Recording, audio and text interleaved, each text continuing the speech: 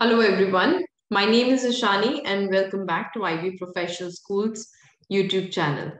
So last time we had worked on scatter charts. We understood why we need a scatter chart and how do we create it in Power BI.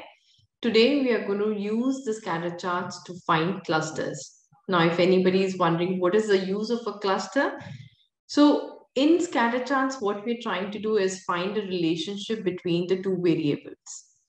For example, over here, we have a relationship between sales and profit, profit on the y-axis and sale on the x-axis. So we are able to see the overall, what is the relationship? And we used a trend line to see if the relationship is positive, negative, or there's no relationship between the two variables. Now, it's not necessary that all the values that we have are going to behave in a similar manner, right? Like you can see on this scatter, there are few scatters which are more towards the bottom, meaning low sales, low profit. Then we have over here where we have a little better profit, higher sales. And then we have these on the top, which are showing high sales and high profit. So how did I come up with this cluster? So what is a cluster? Cluster is basically a group of similar behaving elements. It's very important study that we do so that it's not a general trend that we can talk about for all the elements. So what I've done over here is I've plotted sales versus profit based on various countries.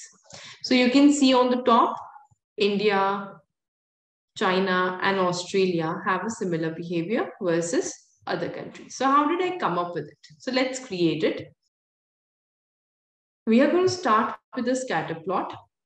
Like discussed previously, scatter plot usually uses two values, two num numerical fields in it. So I'm going to go ahead and plot sales and profit. Now sales and profit based on which dimension, which field. So I'm going to pick country.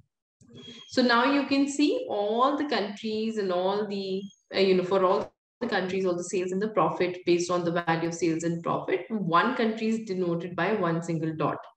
So this is for Indonesia. The sales is 404571 and the profit is 15,642. Now, if I want to create clusters, how do we do that? I'm going to go ahead and click on these three dots on the top. And over here, I get an option of automatically find clusters. Now, once you automatically click, uh, when you click on automatically find clusters, the number of clusters, it will create itself depending on the similar behavior. So we can go ahead and do okay. But in the previous example that I showed you in the previous slide or the page, I had made only three clusters. So if I can, if I type in three, or if you're sure that you want, you know, it may be three, it may be four clusters.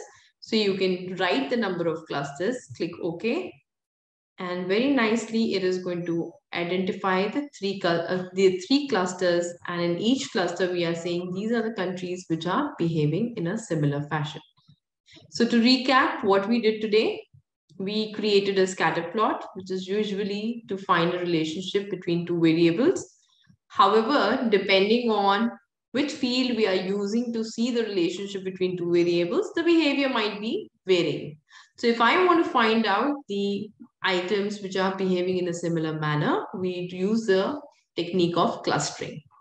So thankfully in the BI tools, we don't have to know the statistics model behind clusters that is getting created. All we did was once we plotted everything, we went, clicked over here, we had the three dots and we had an option called automatically create clusters. I picked three and I've got three clusters of the countries now. So I hope you enjoyed this video and looking forward to seeing you again in more videos. Thank you.